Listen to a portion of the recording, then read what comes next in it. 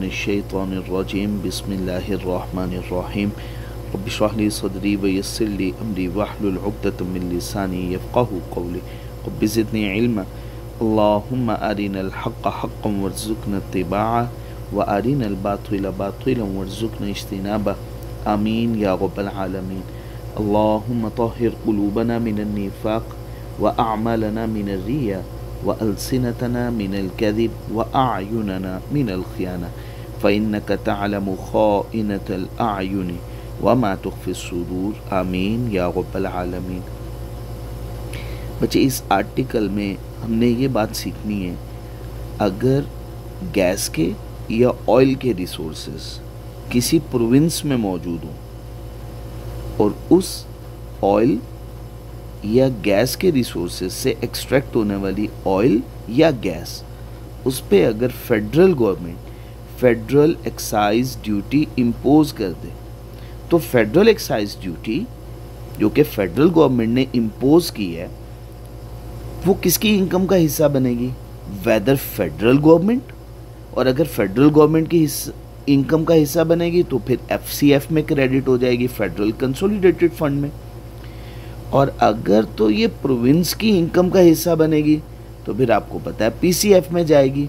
Provincial consolidated fund तो बच्चे start करते हैं सबसे पहली बात से।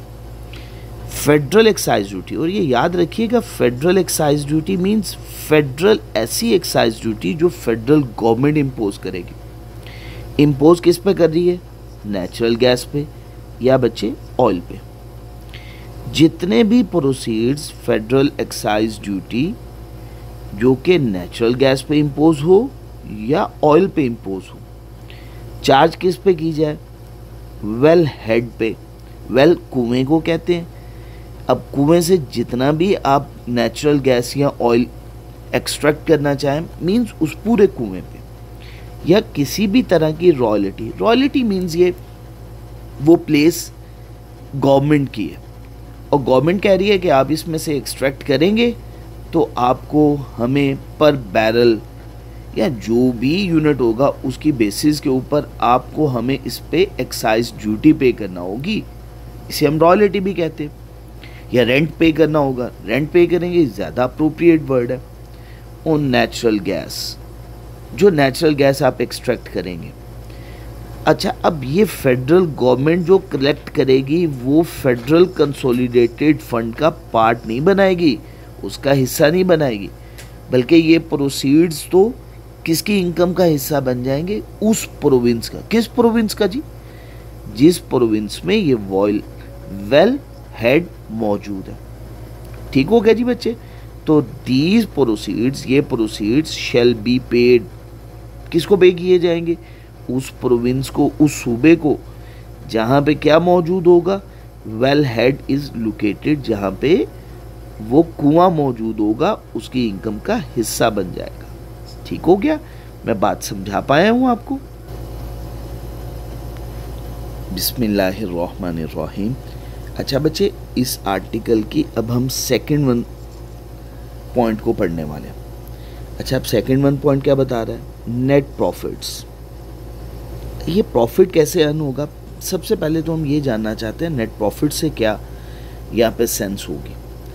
नेट प्रॉफिट कैलकुलेट होगा बाय डिडक्टिंग ऑपरेटिंग एक्सपेंसेस जितने भी एक्सपेंसेस हैं ऑपरेशंस के, वो माइनस करने अच्छा including taxes duties interest depreciation and overhead जितने भी एक्सपेंसेस हैं, वो अगर आप रेवेन्यू जितना भी आपको रेवेन्यू रिसीव होगा पावर जनरेशन पावर सप्लाई से पावर सप्लाई करेंगे, उससे जितना भी रेवेन्यू आप रिसीव करें, उसमें से आपने डिडक्ट कर देने ऑपरेटिंग एक्सपेंसेस तो क्या बन जाएगा जी?